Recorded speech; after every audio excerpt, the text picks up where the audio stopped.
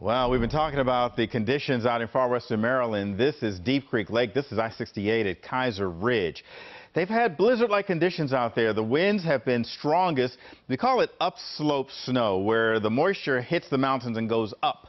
And then as it goes up, it hits the coldest air. And as it hits the colder air, it turns into snow, and that's what they're seeing, piling up. So pretty much shut down out in far western Maryland. And again, with that wind gust blowing up to around 40 miles per hour, at times up to 50 overnight, we are seeing those uh, conditions just really stopping things uh, pretty much in their tracks, literally, out in Deep Creek Lake. So yeah, white Christmas out there, because that's not going anywhere between now and uh, Sunday and into Monday. So if you're going to be out and around traveling into the western portion of the state, just plan that in your travels. Right now, though, rest of the state, much calmer. Even though our winds are still gusting a little bit, we are much calmer than we have been. Winds now at uh, 8 miles per hour from the west, gust up to about 20 in times, but uh, 8 miles per hour. And then the feels like temperature only a few degrees colder than the actual temperature. Feels like 32, the actual temperature 38. Visibility not an issue, and these are all conditions in central Maryland reported at, of course, BWI Thurgood Marshall. 21 degrees out of McHenry, feels like 6 degrees right now.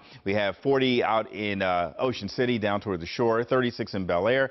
Temperature at BWI Marshall at 38, 39 in Annapolis, and 35 in Hagerstown, where those winds are gusting currently at around 19 miles per hour. Still seeing some double-digit wind gusts out there, but overall, these are about half the speed that we had this time yesterday. And as we get into the afternoon, we get into the next several days, you'll notice those winds calming down, sometimes almost at a dead still, uh, dead still conditions. We get into Saturday and Sunday, and yes, they'll be calm. So make your plans, your travel plans, whether by air, land, it's not really going to matter. Whether Mother Nature is not going to impact you with any weather delays. So right now we still have this disturbance, this little dip in the jet stream. This trough is going to be bringing those snow showers across the area.